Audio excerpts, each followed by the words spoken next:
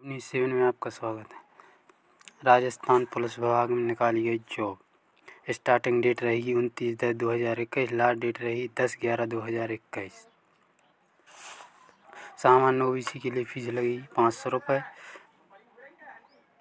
और S T S C के लिए लगेगी फ़ीस चार सौ रुपये पोस्ट रहने वाली आपकी कांस्टेबल जेडी एज आपकी रही एक एक दो हज़ार चार न्यूनतम। अधिकतम दो दो दो एक उन्नीस सौ अंठानवे के बीच एज होनी चाहिए। अधिकतम आयु महिलाओं के लिए दो एक उन्नीस सौ तिरानवे।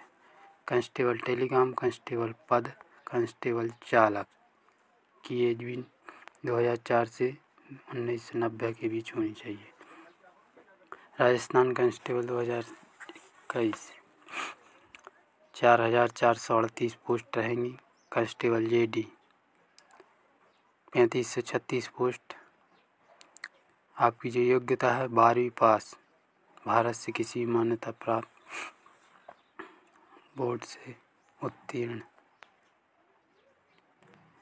कांस्टेबल टेलीकॉम के लिए एक सौ चौवन पोस्ट हैं, बारहवीं पास। पी सी एम आ भौतिक से गणित, कंप्यूटर का ज्ञान होना चाहिए। कांस्टेबल टेलीकॉम के लिए भी कंप्यूटर बहुत गणित मांगी एक सौ चंगन पोस्ट।